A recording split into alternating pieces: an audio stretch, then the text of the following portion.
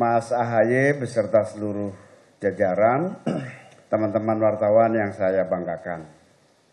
Pertama, saya sangat bersyukur, berbahagia malam hari ini bisa berhalal bihalal, bersilaturahmi, bernostalgia bersama Pak SBY dan keluarga besar Partai Demokrat.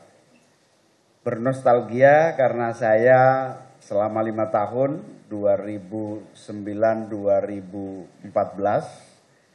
bersama-sama di Kabinet Indonesia Bersatu Jilid 2 sebagai Menteri Tenaga Kerja dan Transmigrasi. Banyak sekali pelajaran selama lima tahun bersama Pak SBY dan tadi sempat bernostalgia suka duka di dalam pemerintahan dan perjuangan pembangunan kabinet. Yang kedua saya sangat eh, berbahagia bisa berdiskusi menyangkut berbagai perkembangan politik nasional bersama Mas Ahaye dan Pak SBY. Terutama meskipun kita berbeda koalisi, saya di koalisi Kebangkitan Indonesia Raya, Mas Ahaye di koalisi Perubahan dan Persatuan.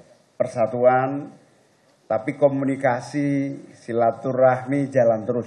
Bagi saya perbedaan koalisi, perbedaan politik itu harus tidak kemudian menjadi kita renggang dalam silaturahmi.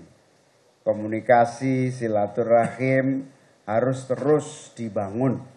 Apalagi saya pernah menjadi menterinya Pak SBY, tentu komunikasi menjadi sangat penting untuk mengokohkan solidaritas dan silaturahmi itu.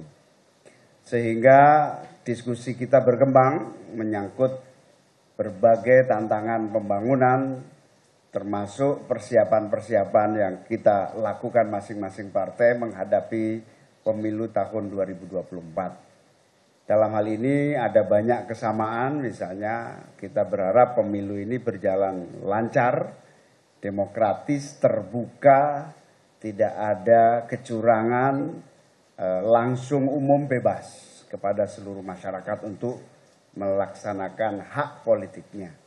Yang kedua, kita juga bersepakat bahwa pada dasarnya perbedaan koalisi, perbedaan pilihan di dalam partai maupun kepemimpinan nasional adalah bagian dari upaya mengokohkan dan menguatkan demokrasi kita.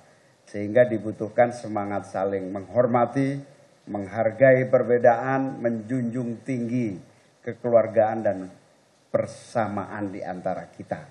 Sehingga nanti kalau Mas Ahaye menang misalnya, saya akan teriak dari jauh, jangan lupa saya mas. Tapi kalau saya menang, pasti saya tidak akan lupa Mas Ahaye.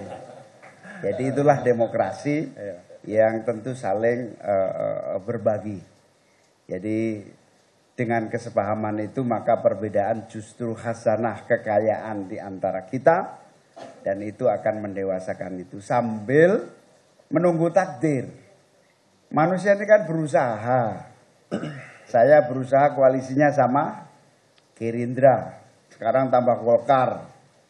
Namanya juga usaha. Nah soal takdir janur melengkungnya apa nanti nggak ketemu Demokrat belum tentu. itu takdir di luar kemampuan kita. Belum tentu. Nah itu saya bilang sama Mas Ayi, ya sudah masing-masing berikhtiar selanjutnya takdir di tangan Tuhan. Gitu. Terima kasih teman-teman semua, moga-moga pertemuan ini juga akan berlanjut dengan pertemuan-pertemuan antar partai, ya. terutama menjelang pemilu yang akan datang dan saya memang sengaja akan terus berkunjung dengan teman-teman partai yang lain dengan berbagai uh, ikhtiar untuk dialog positif bagi kemajuan demokrasi kita. Demikian, terima kasih Mas Ahy, terima kasih teman-teman wartawan sampai malam hari ini. Iya, terima kasih.